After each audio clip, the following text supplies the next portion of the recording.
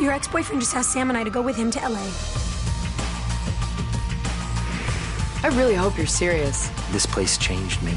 Brooke changed me. My friends are here. My life is here. You have to go. You have to. Till you let someone in, always be alone. I was thinking maybe this didn't have to be goodbye. I love you.